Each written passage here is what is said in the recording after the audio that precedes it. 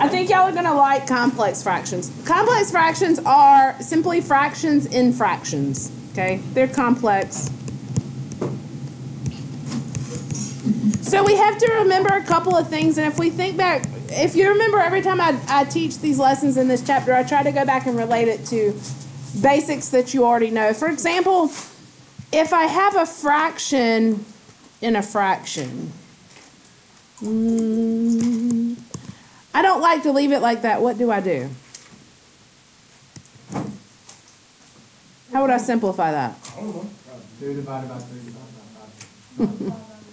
How you do that? Multiply by the reciprocal, right? We don't divide by fractions, we multiply by the reciprocal. So 2 thirds times 7 over 5. So we do the top times the flip of the bottom.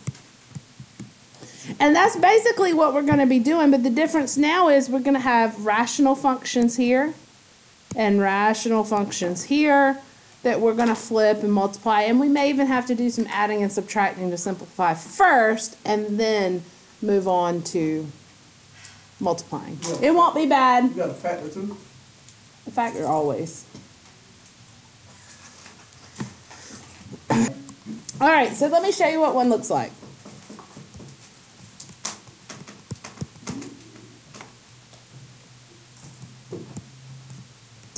Over 1 over x. It's a complex fraction. It's supposed to look complex. I mean, Yes. here's what we're going to do. We're going to break this down in Oh pieces. god, I don't know. What? What, Tanner, tell us? I think we're about to do these what we did yesterday on the bottom, Yes. and then we're gonna, I'm getting excited. and then we flip that and multiply it. So we're Yes. all of it. Yes. Am You right? can do that? You're right. This is a combination of everything, all the algebra we've done in chapter 5. I'm smart. Okay? All right.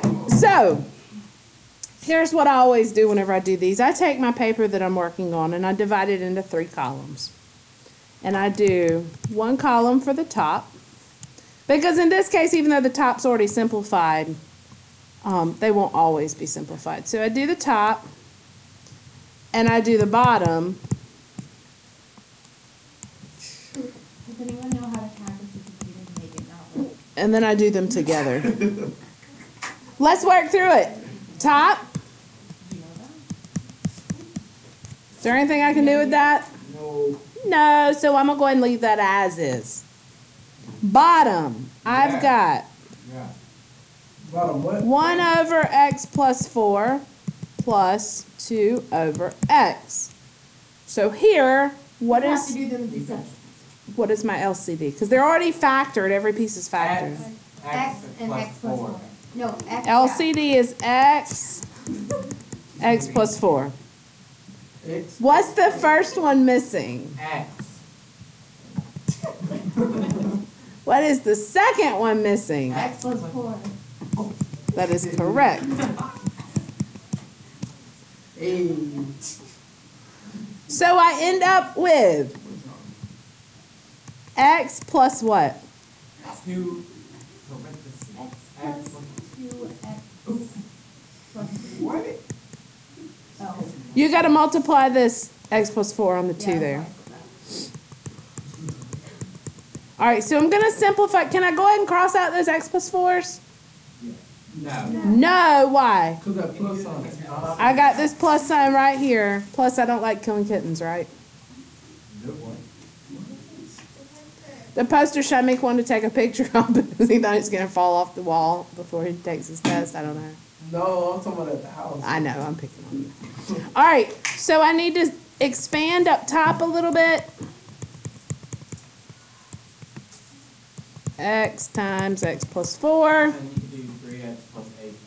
I could do 3X plus 8. Ah, You've got to close parentheses. I sure do. Cancel out the X and do the second one. You tell me. Yes. No, yes. All right, so there's no parenthesis there, but I could put a parenthesis Oh, over this whole thing like that. So can you cancel them? No. Nope. Good job. All right. Together. Forever. did the. So this is the Never. bottom. All right. Mm-hmm. So you do the top, And it's already done? five over x plus four. I take my final answer from both. And then I take my final answer from the bottom, but I need to flip it, right? Because I'm dividing. So I do times x times x plus four over 3x plus 8. So the bottom goes to the very. Together means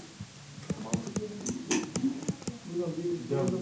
White. top times the flip of the bottom. Uh, did you already switch them? Switch what? Yeah, I put this on top and this one on the bottom, right here. Does that confuse anybody? Now I can cancel and simplify. How you do that?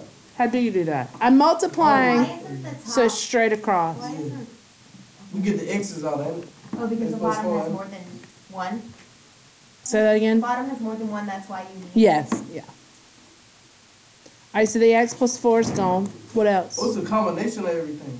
It is. That's what. That's it. That's it. Didn't we say that already Yeah. earlier? Oh, Okay. Five X, Five X. Five x over three X Three plus. X plus eight. There you go. final answer. It looks a lot worse than it is, right? Oh, it's still long now. That's not getting Can you put it into like a calculator? No. No, because the X's are real. Worst teacher. Alright, let's do.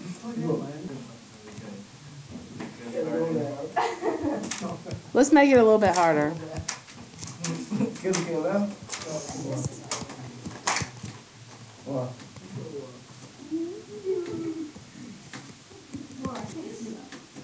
You can't see? Oh, yeah. Let's, you, here, I'll flip the other light. Somebody flip that other light off, please, so we can see. Thank you, Cheetah. Didn't even know I got them. Better? Much. It's just if I change it to a little bit thinner here, it it gives me a little more I'm so room. quick about my papers now. The wind out from my body is not, not, yo, for real cheap.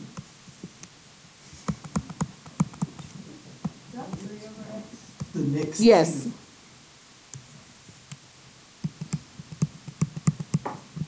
I'm just setting up. It took off my entire page. Did it? I'll give y'all a second to catch up with me and then we'll. You Top! gotta do the thing. I got 6 over x minus 5 plus 1 over x. What is my LCD? X, X minus five. X, x minus 5. What is the first fraction missing? X. What is the last fraction X missing? minus. Way to go, Tanner. I love the, en- the enthusiasm. The top combined would be 6x plus 1 times x minus 5 all over the LCD. LCD. I'm just gonna do egg one X minus five. That's fine. If you skipped ahead and got 6x plus x minus 5, minus that is perfectly fine.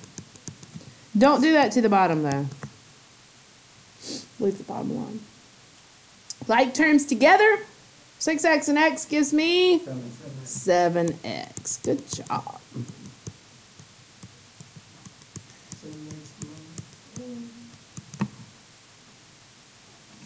Does everybody agree that's my simplified top?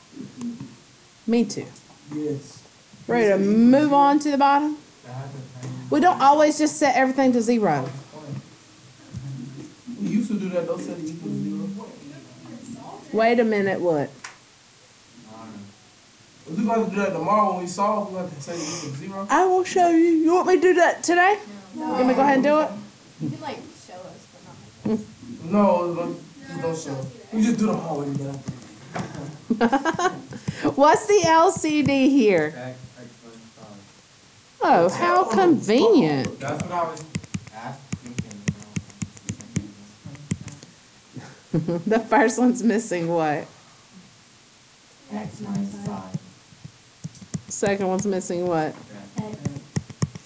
So I've got three times x minus five. Be careful, because if this, if this had been missing a, a binomial, you'd have to distribute a negative 2 through. So watch the signs carefully. minus 15. Yeah. Minus 2x. Yes. All right, so I have 3x minus 15 minus 2x over x times x minus 5. Which simplifies to what on the top? X minus fifteen. That's exactly right.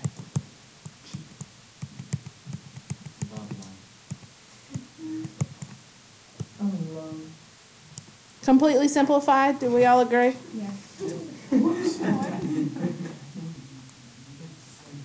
Top seven x minus five over x times x minus five so X minus It's six, wait, no. seven. Times. Times. Flip that bottom over. X, X minus five. Over X minus. Ah! I didn't flip it. Come on. Good job, teacher. Tell you I was just what. right too. You weren't even listening. I know. I'm sorry. X minus fifteen. And X, X minus five cancels Look at that. That's nice. Seven X minus five over X minus It's just completely done. Judging by I love everyone's attitude about this, I think y'all have it fairly well. Yeah.